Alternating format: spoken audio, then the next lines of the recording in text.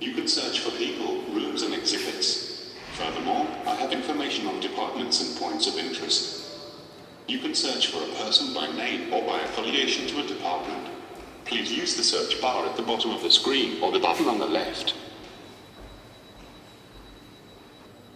Please press the button at the lower right if you want me to guide you. Please follow me. I will guide you.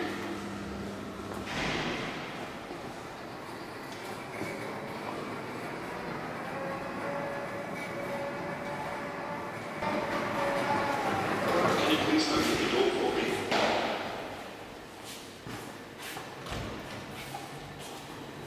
Thank you.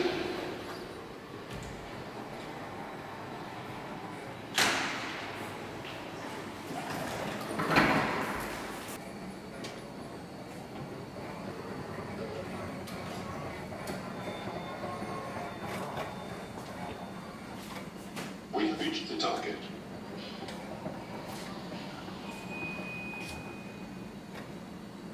May I ask you for a little feedback?